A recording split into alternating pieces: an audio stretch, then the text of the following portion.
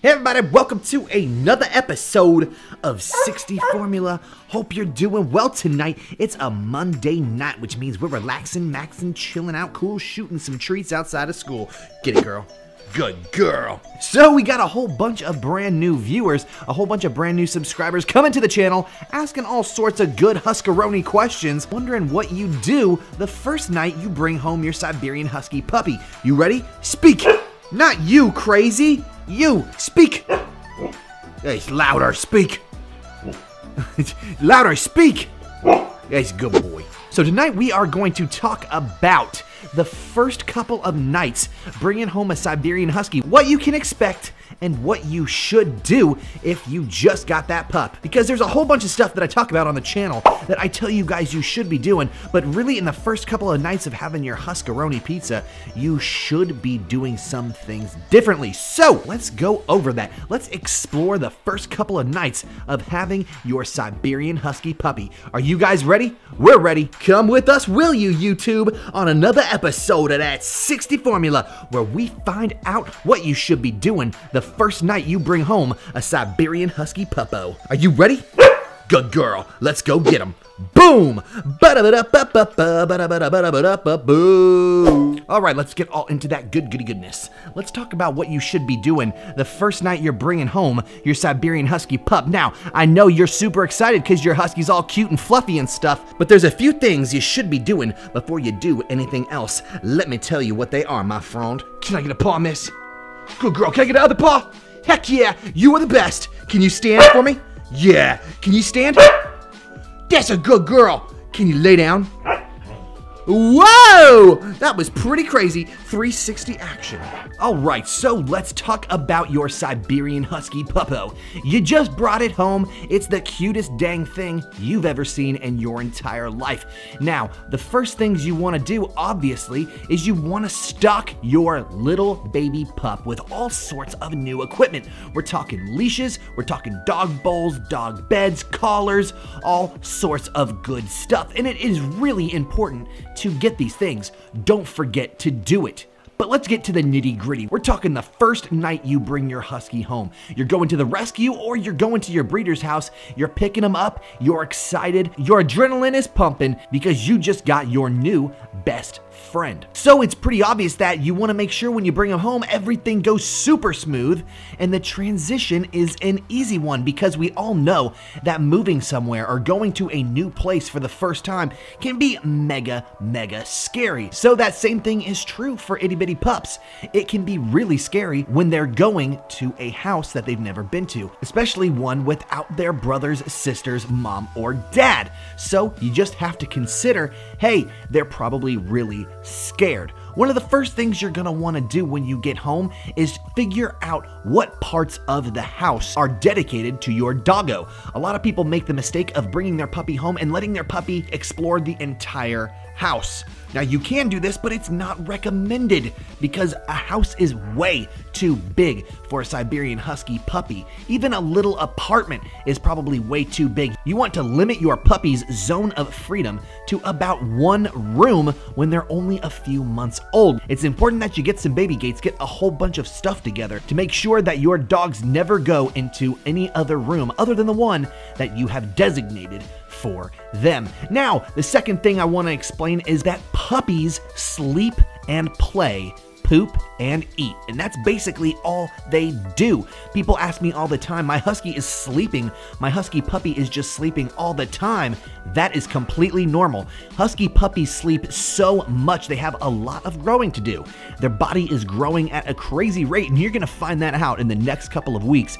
These guys grow faster than weeds, so sleeping is one of the best ways for them to grow. They're gonna be doing a whole lot of it. Now, I know you guys just got a husky, and I know you guys want to run around. You know that they're energetic dogs, But you should not be taking your husky puppy for a walk until your husky is a few months old. Puppies don't need to be going for super long walks or jogs.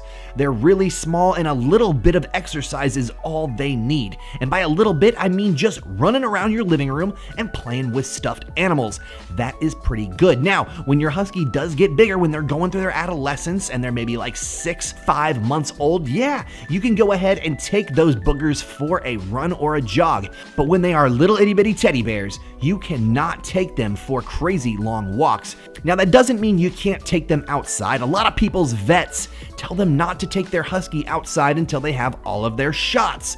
Now, this is good advice, but if you live in a neighborhood that is clean and safe, it's pretty okay to let your puppy outside. Just don't let them interact with any other dogs, especially other puppies. Make sure you keep them on a leash, never let them off leash, and make sure they're always under your supervision. I took Hila out for a million walks when she was a little puppy. You just have to make sure that you keep them supervised. And if there is a pup nearby or a dangerous situation, scoop that pup up with your hands and hold them in your arms. Huskies are really small when they're puppies, so you're able to just pick them up. You don't need to worry about that. So now that you got your husky puppy home, you probably have a cat or maybe another dog at home. You're gonna want to introduce that animal to your husky puppy very slowly. So go ahead and put that existing dog, the one that was at your house or the cat that was at your house before, make sure that they only interact with each other through the slot of a door. Make sure that they're only hanging out and smelling each other through underneath a door. Now, if you have two people, this is easier, so you don't have to leave some animals on the other side of the door unattended. But if that's the only way you can do it, that's the only way you can do it. You don't want to stress out your cat and have them interact with each other first thing, just plop them right in front of each other. This could cause a stressful moment for both the animals, and that is not a good first impression. You want your animals to be best buds. That is the mission we're all going for here. So make sure that you do introduce your animals properly. There is a step-by-step strategy to do this, and I have a video I will link in the description below. Now, a lot of people want to jump right into training as soon as they bring their husky puppy home. They want to teach him how to sit, they want to teach him how to potty train, they want to teach him how to be crate trained. But understand the first night is going to be just a night where they are going to be getting used to your house, getting used to you, and all the other factors surrounding your husky's new environment. Make sure you skip on the training for just the first night. If you got a crate, that's fine. Introduce your puppy to it, but don't shove them in the crate the very first night you get them. Now, another thing that's important is that your husky is probably going to have diarrhea, and they're probably going to make a lot of accidents in the house. I'll go over the first one right now, real quick. The diarrhea thing is because A, they're probably stressed from moving away from their mother and father or their littermates, or they're just stressed from traveling. This stress diarrhea can last for a couple of days, but it can be prolonged if you immediately switch their food. If you don't ask the breeder or the people who you are rescuing the husky from what food that the husky was originally on, and you switch foods immediately when they come home, this will cause prolonged diarrhea. So, if your husky puppy is sick, having problems on the floor, peeing everywhere, that is to be expected. Husky puppies don't know how to potty outside yet, and their tummies are mega sensitive. You have to have adult mega supervision when it comes to bringing a brand new husky puppy home because they want to potty every opportunity that they can. And the tip and the trick to getting over this, to getting them outside before they potty, is when you supervise them. If your husky starts smelling on the floor, like looking for food when there is no food, but they're sniffing around, sniffing is a huge indicator that your Siberian Husky puppy is about to use the restroom. So, my tip to you is if you see your Husky puppy sniffing around when there is no food around, grab that little booger, put him or her outside, and you will probably get a potty before they make the mistake. And when this happens, you have to act super excited. On the first night, it's mega expected to have accidents. Don't bring your husky home on the first night and expect there to be no potty on your floor. It's 130,000 percentile going to happen. So don't get mad at your animal. Instead, laugh at it and realize that this is a learning period.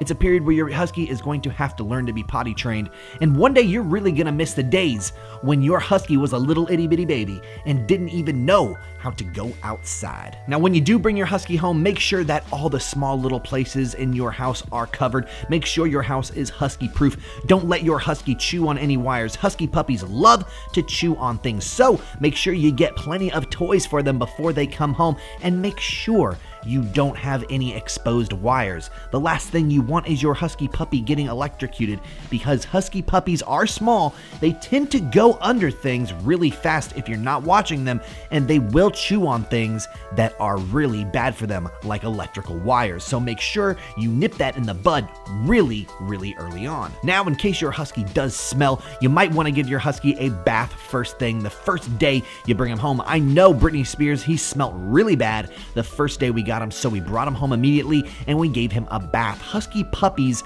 are super small, so you don't want to hit them with a hose or splash them with a whole bunch of water. The best way to do this is on the first night, fill up your sink in your kitchen with water and just dip your little husky puppy in there a little bit. Chances are they won't even care. The warm water will make them feel good. Now, don't make it hot water, but don't make it freezing cold water either. Just make it lukewarm water and your husky will be mega, mega comfortable.